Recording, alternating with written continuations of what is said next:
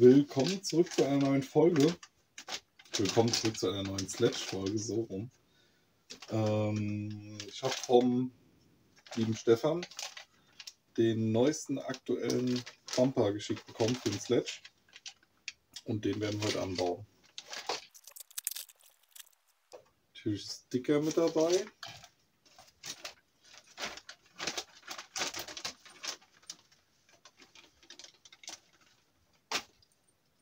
Zweimal POS, einmal M3. Die mache ich auch direkt drauf und sogar beide hier mit so diesem Glitzer-Rainbow-Effekt. Mega geil passend zu dem JS-Parts. Ja, sehr schön. Also ich würde sagen, das überlege ich mir Ende vom Video. Wo wir die drauf machen.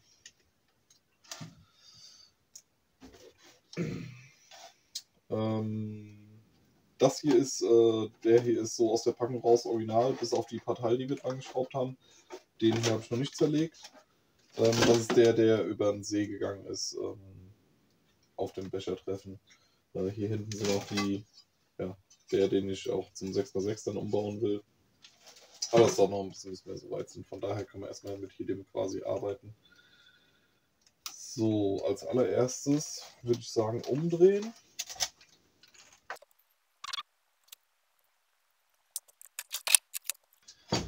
Hier gehen Grüße an lieben Herr Da Silva raus, der hier das 15er Zahnrad eingebaut hat. Ich glaube, die Schraube war nicht genug angezogen.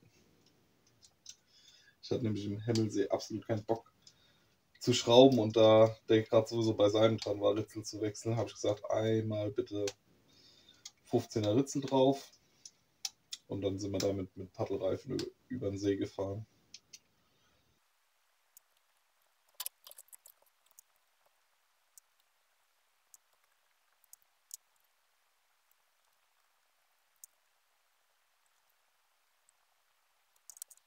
So, Original Frontbumper ist ab. Und das Ganze wird äh, hier durch einen CNC gefrästen Block ersetzt.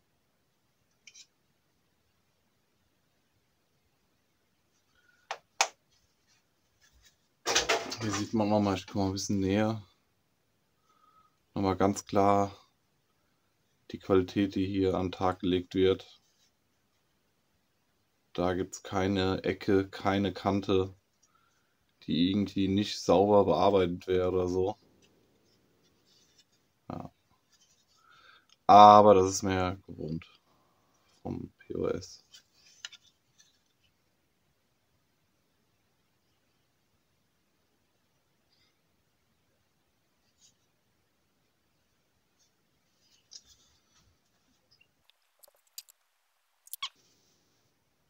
Aber um den Block vorn dran schrauben zu können, müssen wir den einmal hiervon abschrauben.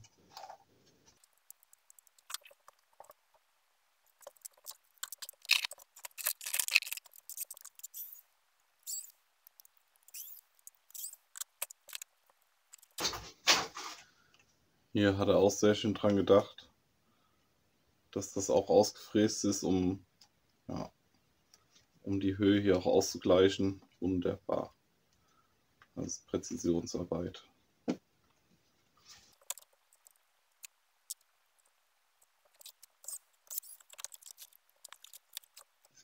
So, der Klotz ist fest. Aber bevor wir jetzt das festschrauben, ziehen wir gerade noch das Skin drauf. Ich müsste noch eine übrig haben, wo ein kleiner Fehler drin ist. Mal gerade hier ein bisschen die Kratzer noch wegmachen.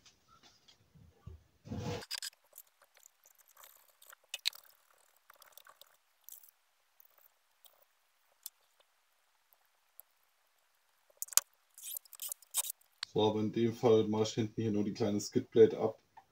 Da brauchen wir nicht den ganzen Bumper abzuschrauben, das wird sowieso wieder verdeckt.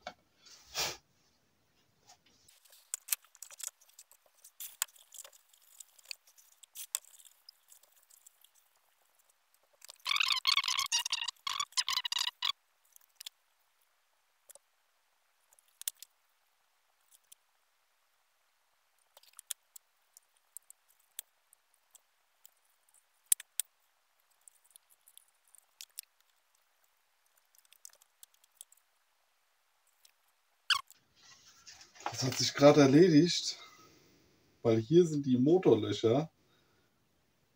Mein Bruder hatte die als Ersatzskin gemacht für innen.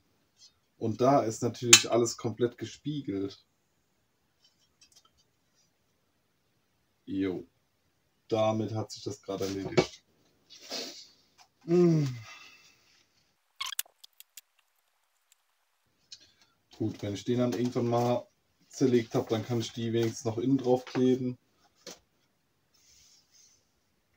Und wir montieren einfach so wie gedacht den Bumper fertig. Erstmal hinten wieder zusammen.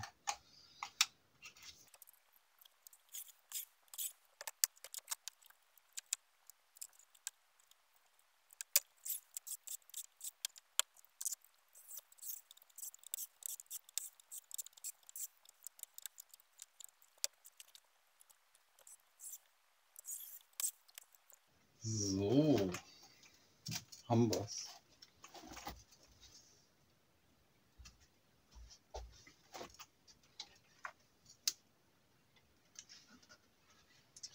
Das ist eine saubere Sache.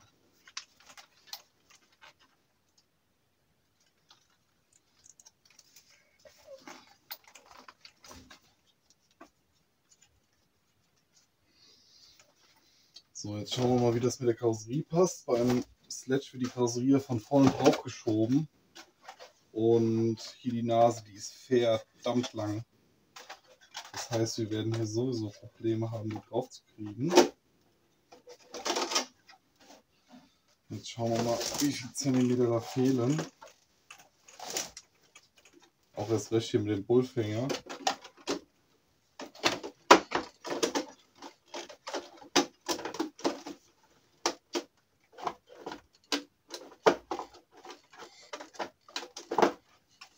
Also ohne Bullfänger müsstet ihr es gerade so drauf kriegen, aber mit keine Chance.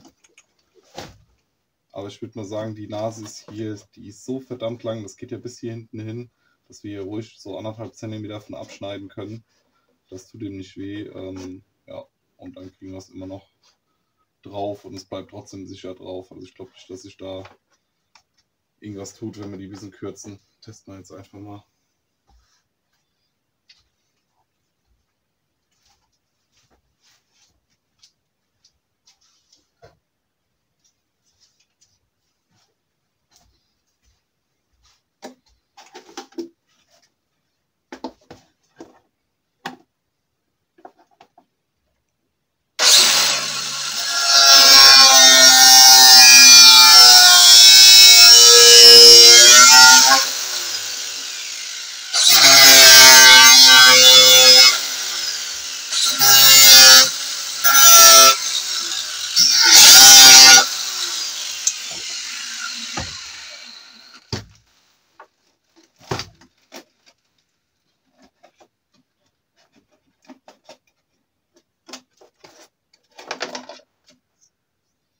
Und das Stück habe ich jetzt abgeschnitten.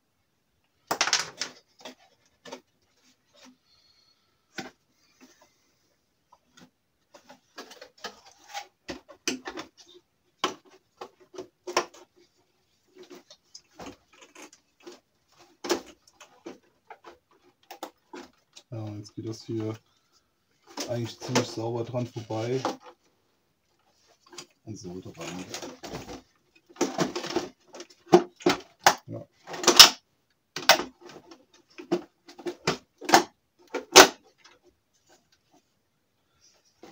frei. So.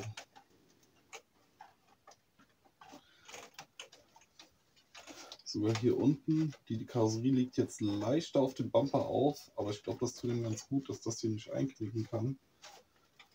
Da müssen wir jetzt auch nichts an der Karosserie wegschneiden oder so. Das, ja, das müsste so passen. Ist natürlich die Kombination beiden jetzt nicht so ganz von Vorteil. Der hätte ein bisschen kleiner sein können. Aber wie sagt man so schön, geschenkten Gaul guckt man nicht ins Maul, gerade wenn die so geil aussehen.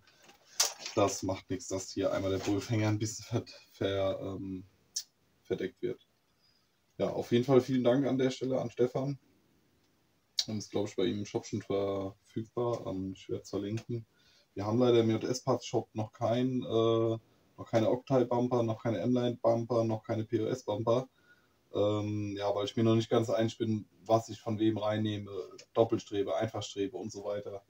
Ich äh, ja, schaue jetzt erstmal zu, dass die anderen Artikel alle fertig werden und dann in Ruhe entscheiden, welche Bumper wir in den Shop reinnehmen. Genau. Ah, Aufkleber.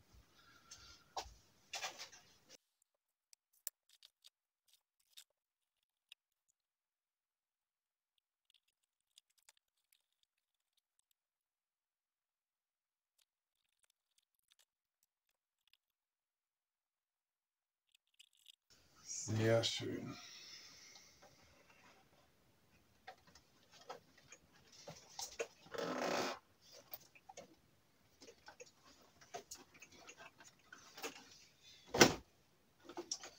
Dann vielen Dank fürs Einschalten.